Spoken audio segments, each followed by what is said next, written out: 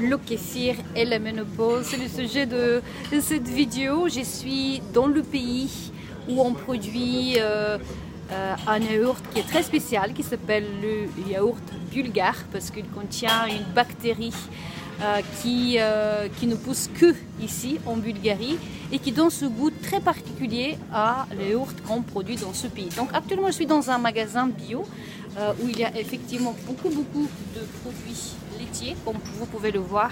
Et surtout, il a quelque chose qui est très intéressant qui s'appelle le kéfir, dont je vais vous parler tout de suite. Et je viens d'ailleurs d'en prendre un.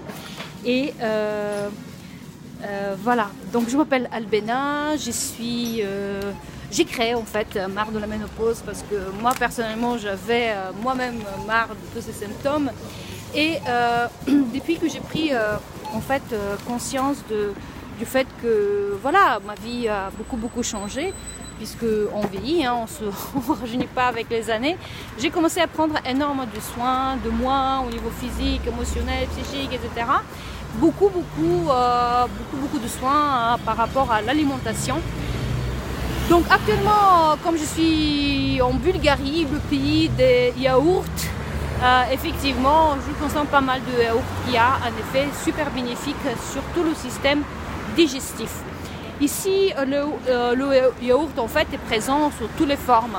On dit qu'on peut le couper au couteau, c'est vrai. Il est beaucoup plus euh, euh, épais que celui qu'on trouve en France, même si vous achetez des fois des petits, vous savez, des petits bocaux sur lesquels c'est marqué, pas beaucoup, mais comment ça se dit, des petits pots comme ça, sur lesquels c'est marqué yaourt bulgare. en fait, ça n'a rien à voir. Il est trop liquide. Euh, le yaourt ici, il est vraiment, euh, vraiment épais. Il y a un goût particulier qu'on ne trouve pas euh, tellement dans ces petits pots. Voilà, donc il faut venir dans ce pays. Et après, donc on mange du yaourt, mais on fait aussi des salades qui s'appellent tsnejanka, ou ça c'est le hum, blanche-neige en fait. Le, yaourt, on enlève tout, l'eau et puis on coupe dedans de la nette, des noix concassées du concombre et ça fait une salade qui est vraiment délicieuse.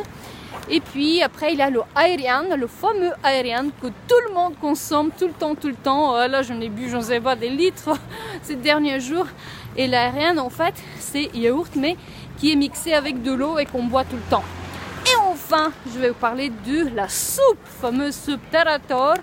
On va pas une soupe parce que c'est encore yaourt comme l'eau aérien mélangé avec de l'eau et dans lequel on va mettre des, du concombre, pareil à mettre, on peut mettre de l'ail, des noix concassées et du, d'huile. Et donc ça c'est une soupe qu'on peut consommer tout le temps, tout le temps. Bien sûr c'est beaucoup mieux pendant l'été parce qu'il fait frais. On peut mettre même quelques glaçons dedans. Et puis, c'est absolument délicieux. En fait, ici, les gens consomment ça tout le temps, tout le temps. Ça s'appelle donc Tarator. Là, je suis à Sofia depuis quelques jours, les femmes mars, mais il fait toujours un peu frais. Là, euh, je crois il fait 6 euh, degrés à peu près. Donc, c'est pas terrible comme température, mais c'est ainsi. Alors, donc ça, c'est le kéfir dont je voulais vous parler.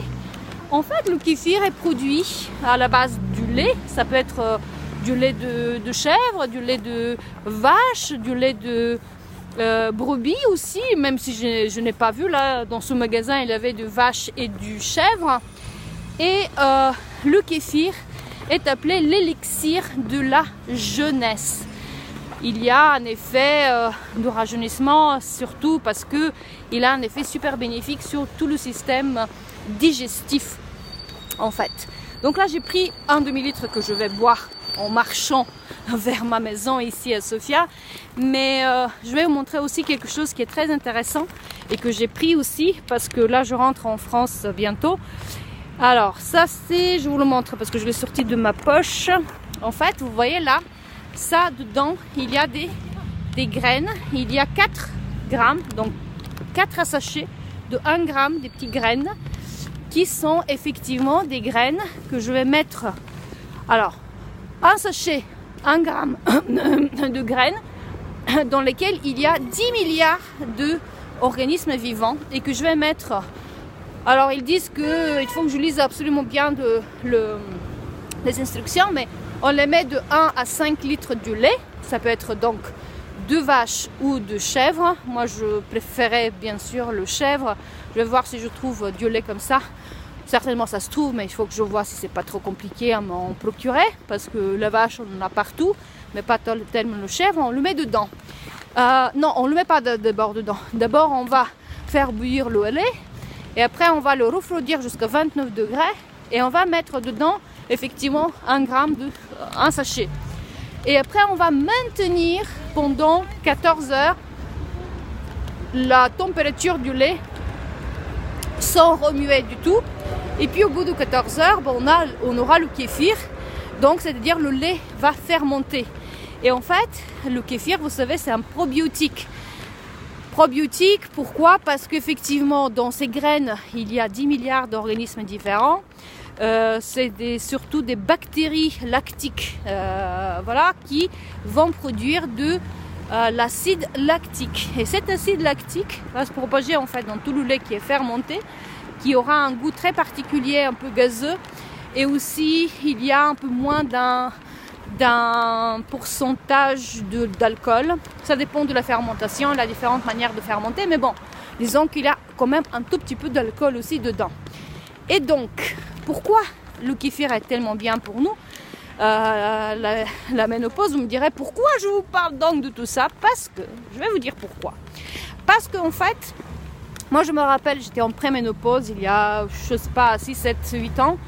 Et j'avais un, ventre qui était ballonné en permanence. Vraiment, j'avais un super ventre comme ça, euh, très désagréable. Je me disais, mais qu'est-ce que c'est que cette histoire? Voilà, c'était vraiment pas, possible et je comprenais pas parce que je mangeais pareil. Je vais pas changer. Euh, oh, excusez-moi pour le bruit. Là, il y a un, immeuble en construction là qui fait du bruit. Je vais pas changer mon, alimentation et en fait, euh, effectivement bah, je ballonnais parce que vous avez ces fameux ballonnements qui sont liés effectivement au changement hormonal dans nos corps. Et euh, bon, on ne digère pas les choses de la même façon, on a un métabolisme quasiment inexistant. C'est comme ça que j'ai pris en deux mois 8 kg, mais vraiment subitement. Bref, tout ceci pour vous dire que on a des problèmes de digestion. Et donc, grâce au kéfir, effectivement, le kéfir a cette euh, euh, euh, propriété de effectivement de assainir tout ce écosystème de notre système, tout le écosystème digestif que nous avons. Il faut savoir que dans nos intestins, nous avons 100 000 milliards de bactéries, des micro-organismes vivants de toutes sortes, de bonnes et de mauvaises. Et donc, effectivement, le kéfir fait en sorte que on garde que les bonnes bactéries, que tout ça soit super bien assaini. Donc il y a un effet vraiment sur toute la flore intestinale. D'une part, d'autre part, c'est super bien pour euh, l'immunité et l'immunité avec l'âge baisse de plus en plus. Donc euh, on devient plus fragile, on peut tomber malade plus facilement, on peut attraper des maladies différentes, euh, voilà. Donc ça renforce le système immunitaire. Et rien que pour ces deux choses-là, effectivement, meilleur système digestif, meilleur écosystème interne, intestinal, flore intestinale, etc., plus euh, l'immunité, moi je dis bingo. Vous, euh, en fait, c'est une boisson qui existe depuis euh, de l'Antiquité, depuis très très longtemps. Ça vient de la Caucasie et ça s'appelle l'élixir de la jeunesse. Voilà mes chers MM7 peut-être comme moi de la ménopause, j'en sais pas, mais moi personnellement, euh, vraiment c'est quelque chose que j'aime pas. Je ne comprends pas les gens qui disent j'adore être en ménopause. Moi, euh, non, parce que voilà, je ne fais que subir des choses. Là maintenant, je me prends beaucoup en main, effectivement, je surveille beaucoup mon alimentation, etc. Et ça va mieux, mais il y avait une époque où je comprenais pas grand chose. Voilà, moi je vous dis à votre santé, là je vais goûter ça en marchant parce que je suis pas très loin de ma maison, par ici, pas très loin du centre-ville de Sofia. C'est une ville qui est très très sympa, avec des gens très très sympas. Moi j'aime beaucoup venir ici.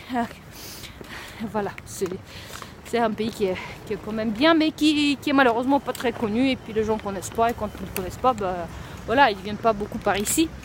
Je vous embrasse fort donc de la Bulgarie. Je rentre demain, je prends l'avion euh, à 13h50 et je rentre à Paris.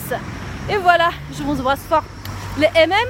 Si vous avez aimé cette vidéo, likez, euh, partagez et puis abonnez-vous à cette chaîne YouTube qui est faite pour vous, les femmes qui ont marre de la ménopause. Là, je vais bien boire ce kéfir. Peut-être que je ferai une autre vidéo où je vais vous montrer comment j'utilise mes sachets avec les graines de kéfir. Je suis très curieuse parce que ce sera ma première propre production du kéfir. Après le vinaigre de cidre que je fais maintenant moi-même qui est tout à fait buvable et très bien. Là, maintenant, je vais faire le kéfir.